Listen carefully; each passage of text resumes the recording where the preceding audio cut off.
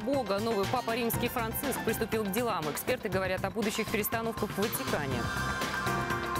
Таможня дала добро напрасно. Она обнулила сборы для армейских броневиков и оборонсервис сводил их под видом медицинской техники. Попадет ФТС.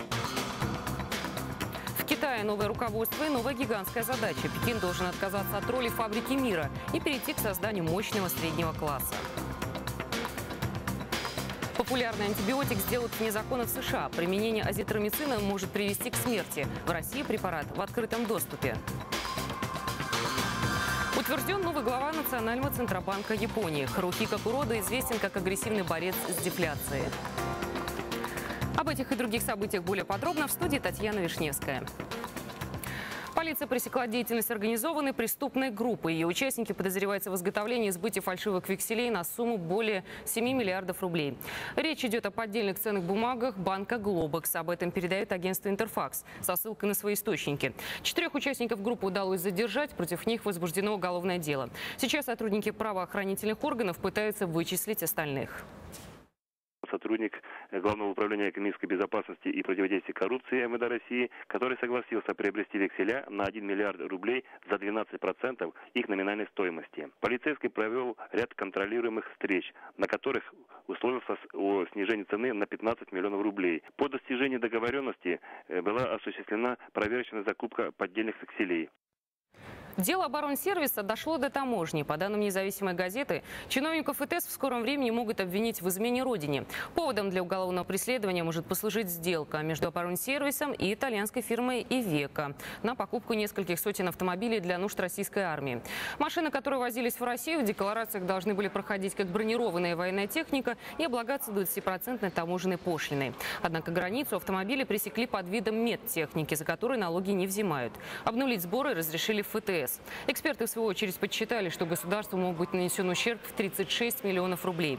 В Минобороны, впрочем, говорят, что ничего не нарушали, а машины предполагалось использовать для эвакуации с поля боя раненых, пишет независимая газета.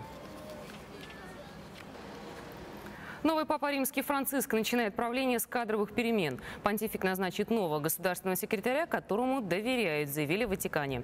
Новому понтифику 76 лет. Он первый латиноамериканец на Святом Престоле и первый папа иезуит.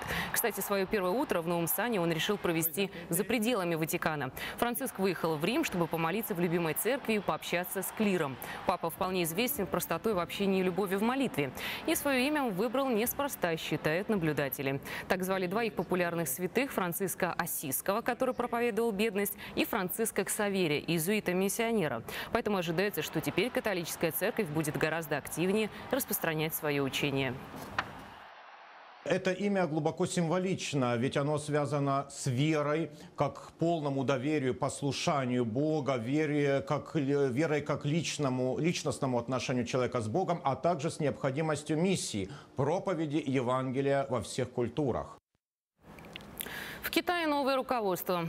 Председателем КНР избран Си Цзиньпинь. Его заместителем стал Ли Юань Чао. А главой постоянного комитета Всекитайского собрания народных представителей Джань Дэнзян. Ранее он был вице-премьером страны. Си Цзиньпинь настроен на борьбу с бюрократизмом и коррупцией, начиная с самых верхов. Партийных чиновников он собирается сделать ближе к народу, а для этого заставить декларировать имущество и отказаться от пышных приемов. Перед КНР стоит гигантская задача, считают политологи. Пекин должен перейти от экспортной экономической модели к созданию мощного среднего класса, который обеспечит стабильный внутренний спрос. Аукционный дом Кристи в середине мая в Женеве выставит на торги бриллиант стоимостью свыше 20 миллионов долларов. Это самый крупный камень грушевидной огранки. Грядущий аукцион по-настоящему громкое событие в мире драгоценных камней. Эксперты называют камень весом свыше 100 карат безупречным. Он один из самых совершенных в истории. Уникальным его делает абсолютная симметрия, степень чистоты камня тоже большая редкость. Она встречается всего в 2% алмазов.